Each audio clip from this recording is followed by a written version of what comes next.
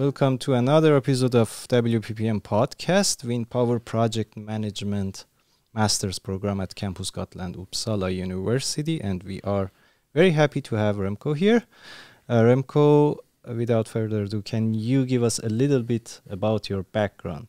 Yes, well, thank you very much, first of all, for uh, having me here. It's always a privilege to be uh, to be at Gotland University here, uh, Uppsala University in Gotland. Uh, my background is a legal one. I studied uh, international law at Leiden University, did a postgraduate year in computers and law, and then moved into legal practice as a as an attorney in the Netherlands, then legal counsel for a number of Dutch companies, and head of the legal unit at the public-private partnership division within the Ministry of Finance. From then on, I moved into renewable energy. Uh, in those days, 2007, 2008, that was still uh, very much a nascent industry. Uh, required a lot of subsidies, uh, small installations, um, but it was taking off just just basically, uh, and you you learn by doing, and we still need a lot of contracts to be put in place, and you also needed to create what I call partnerships. Uh, to make long-term contracts, I think in all in all ways are in fact a partnership, and everybody needs to have a certain comfort with that long-term relationship. And that was very much the challenge in the beginning, uh, to find the right players who were willing uh, to take that extra step to enter into these long-term agreements. And nowadays, uh, many projects make sense even without subsidies. And many standard agreements are there. Uh, the banks are comfortable with, with the technology, etc. So now it's a matter of scaling up. But in those days, it was very much fiddling around with clauses and solutions to uh, to reach contract close and financial close. Yeah, it was some kind of trial and error, right? Absolutely. Yeah, absolutely. Definitely. Yeah. Okay. Yeah. So uh, let's talk about contracts and risk allocation. Okay. Thank you very much. Well, the for that question, the the I mean the whole basics of contracting is allocating risks, mm-hmm. and there are basically three fields of risks. If you talk about a developer uh, on the one hand, and a contractor on the other.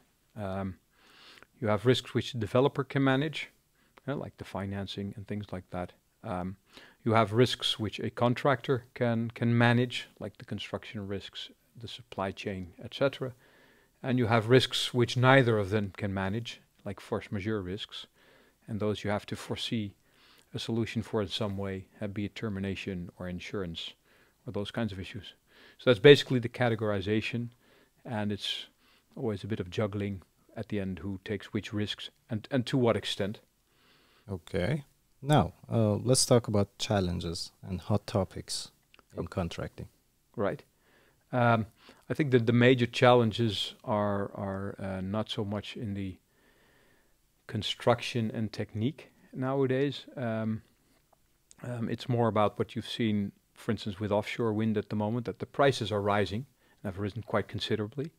And if you look, for instance, at the latest tender of the United in the United Kingdom, there were no bidders. There were just no bidders, and that, of course, is something which uh, which is not a good development. Um, so that's, I think, a very very much a challenge for the offshore wind industry, uh, the rising costs. Uh, you see that to a certain extent onshore as well, but I think there the big issue at the moment, at least in our European region, is is the permitting uh, the the not in my backyard syndrome in combination with grid congestion um, is definitely uh, slowing down uh, growth of wind onshore. Whereas in the contracting, in all honesty, is not, you know, the standards are basically there. Um, I, d- I don't think the problems lie there nowadays. Okay, but um, what happened after pandemic? Well, uh, well, the pandemic certainly slowed a few things down, and especially because the supply chains got disrupted. Um, many players all of a sudden had to look at a force majeure clauses, mm-hmm. uh, which until that day um, were mostly pretty kind of boilerplate clauses, pretty standard clauses being used in one contract after the other. Um, and it, it, it, was quite a challenge, of course, for uh, for the industry. I think to uh, to deal with the supply chain issues on the one hand, um, whereas construction, etc., uh, was became quite a bit more difficult as well. Right? Like like so many industries, it had a very negative impact. Um, uh, I, am not aware of, of companies which uh, which went bankrupt, but I know of quite a few projects which which got delayed uh, and were no longer delivered on time. Okay. With all costs involved. Okay. Next question. What are the key contractual relationships between different stakeholders, um, for example, developers, utilities, landowners, in a wind energy project, and how are they structured to ensure project success? Wow. Um, to start with the utilities, I mean, they're um, with utilities. I, I would I would want to replace the word by off-takers. Uh, who's who's buying the power? Mm-hmm. Uh, and that that can indeed be a utility, but it can also be a private entity. Uh, we have uh, players like Google uh, and, and, Microsoft entering into direct agreements with wind farms, like behind the meter. Um, some are behind the meter, indeed, very mm-hmm. good, um, and some are what they call sleeved PPAs, so they still go via the public grid, and they have financial mechanisms to uh, to deal with the differences in pricing when you put it on the grid and take it off the grid. To put it mm-hmm. very simple, um, so that's that's the part of the income stream, the money coming in, um, and the the mechanisms for the contracts going out. I think you have, of course, the landowners. Um, either the developer owns the land, or has an agreement in place for a duration, uh, which at least matches, of course, the the the duration of the power purchase agreement. Uh, and it should, of course, be a agreement which is far and solid enough uh, for the banks to finance it.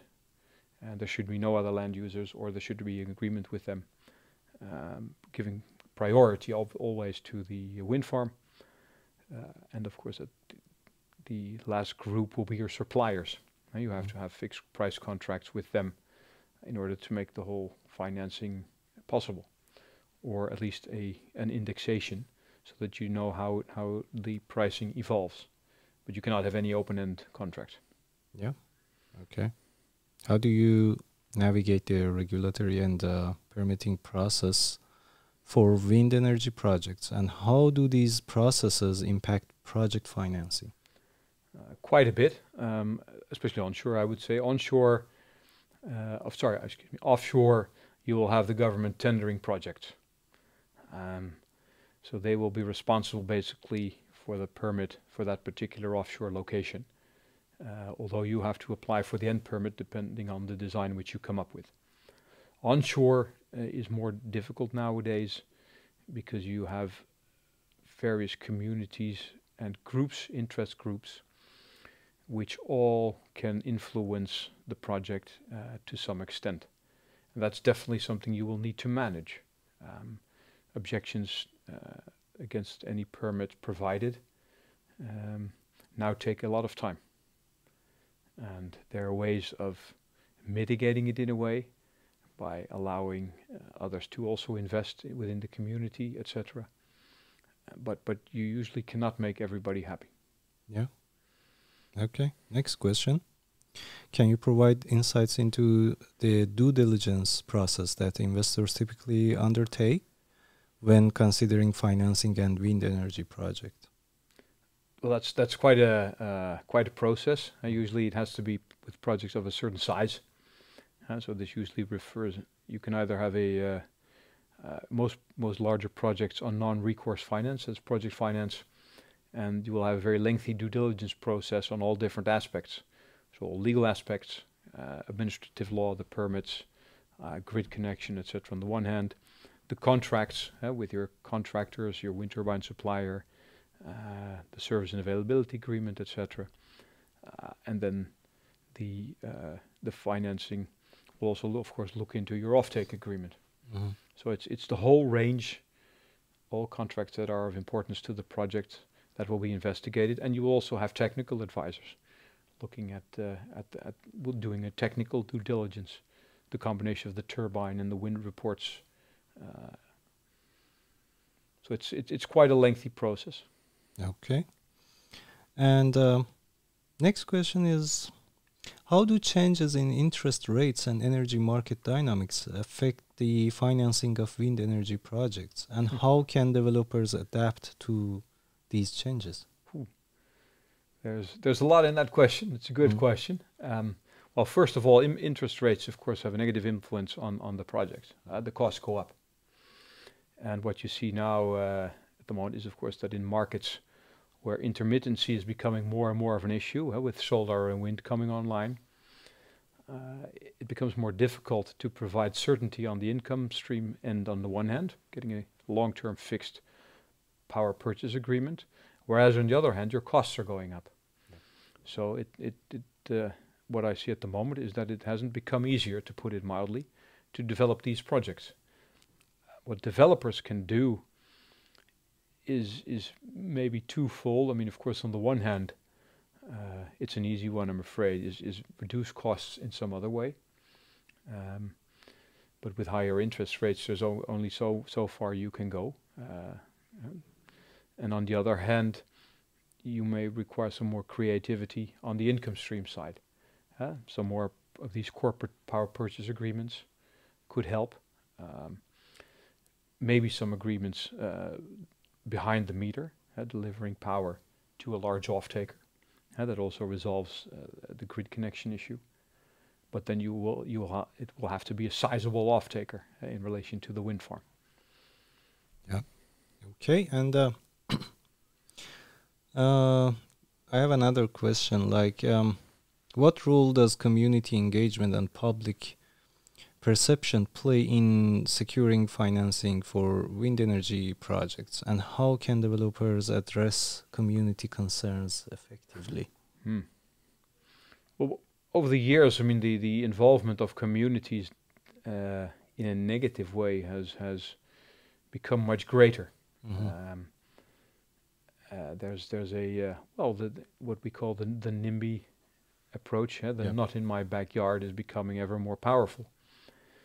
That also I think has to do with the turbines becoming bigger and bigger. Uh, and I'm mostly talking onshore now, in particular, and it requires engagement from a very early stage.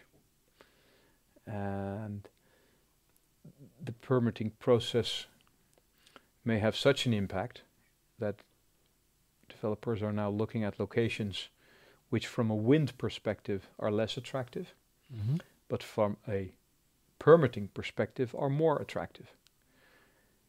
Because at the end of the day, these objections to permits can really delay a project. Yeah. Um, so I, I do see developers move to areas where uh, where this can become less of an issue. Okay.